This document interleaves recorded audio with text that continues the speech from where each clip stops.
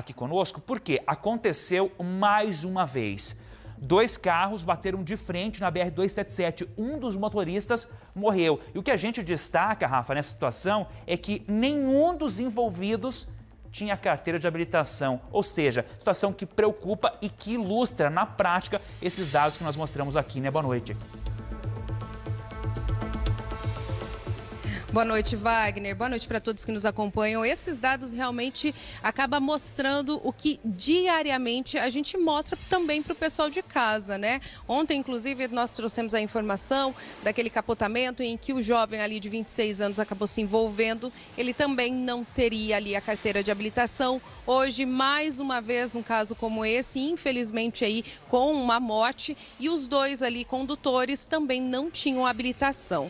É claro que quando a gente fala a respeito disso, de habilitação, de realmente ter essa responsabilidade, a gente entende que a partir disso outros casos podem acontecer de erros. Afinal de contas, o mínimo ali que um motorista deve ter é a carteira de habilitação, a famosa CNH. E se nem isso ele tem, quem dirá que vai cumprir ali as outras normas, né, do trânsito? Pois é, e como fazer as pessoas terem essa consciência? Essa pergunta, inclusive difícil difícil, eu deixo para o Salgueiro da Polícia Rodoviária Federal, que está aqui comigo. Salgueiro, é um trabalho muito complicado e a gente está vendo ano a ano só aumentar essas questões aí de condutores sem habilitação. A preocupação é grande por parte, é claro, de todos os envolvidos aí no trânsito, né? Boa noite. Boa noite, com certeza. Esse é um tema que tem preocupado não só a Polícia Rodoviária Federal, mas o COTRAN, o Comitê Intersetorial de Prevenção de Acidentes aqui de Cascavel, que integra todos os órgãos,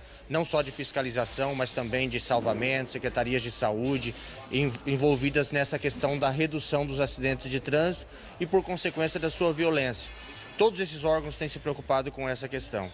Não significa que todo mundo que não tenha a habilitação se envolva em acidentes mas a quantidade de pessoas não habilitadas que têm se envolvido em acidente tem chamado a atenção de todos esses órgãos. E você resumiu bem, se o cidadão ele não se preocupa talvez com a primeira regra, que é ter o seu direito de dirigir, que, ter, que é ter a sua carteira nacional de habilitação. Se ele não se preocupa sequer com isso, como é que nós vamos exigir dele que ele use cinto, que ele não ultrapasse em local proibido, que ele não ingira bebida alcoólica, que ele obedeça a sinalização, especialmente ao tocante à velocidade. A principal regra o cidadão já não cumpre, então dele não é de se esperar muito, a não ser que ele conte com a sorte. É, o que a gente nota, é, e principalmente aí os envolvidos no trânsito, até a própria polícia mesmo comenta a respeito né, da direção defensiva e de outras normativas que, claro, a gente acaba aprendendo lá na escola, dos cuidados. E a pessoa não é simplesmente ligar o carro e sair dirigindo, né? Inclusive temos carros automáticos que nem precisa trocar de marcha.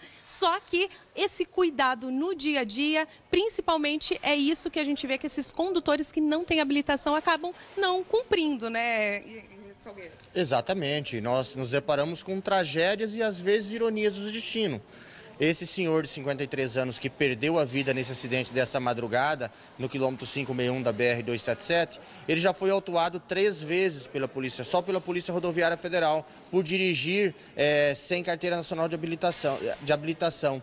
Inclusive, em 2021, ele se envolveu em um acidente na BR-277, na altura do município de Catanduvas. Naquele acidente, ele não teve ferimentos graves. Esse mês, esse veículo que ele conduzia se envolveu em acidente no, na BR-467. Mas foi um acidente sem relevância, no qual ele mesmo fez o registro, a declaração desse acidente, colocando um outro condutor responsável no veículo, mas o fato é que o destino foi, de certa forma, irônico e nessa madrugada, infelizmente, ele perdeu a vida em um acidente causado por um outro condutor que também não era habilitado. Um homem mais jovem, de 23 anos, que cometia, igual a ele, o mesmo desrespeito à legislação e o mesmo desrespeito às autoridades de trânsito.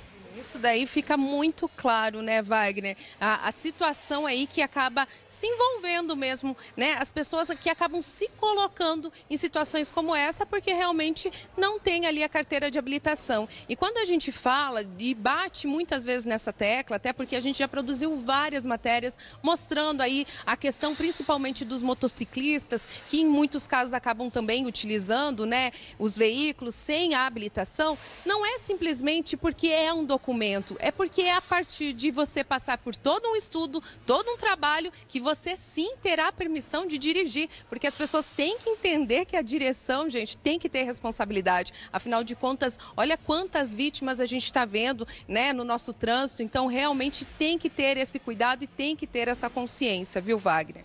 Atenção é entender a responsabilidade quando assume a boleia de um veículo ou que está pilotando uma motocicleta. Obrigado ao inspetor Salgueiro. Obrigado, Rafa. Já volto a conversar com você. 6 e 21 aconteceu de novo e viu essa triste fatalidade, né? Um dos condutores já tinha sido autuado anteriormente, não tinha habilitação, estava novamente aí dirigindo um veículo. Por azar dele, o outro condutor também não tinha habilitação e ele foi a vítima fatal. Muito triste, hein?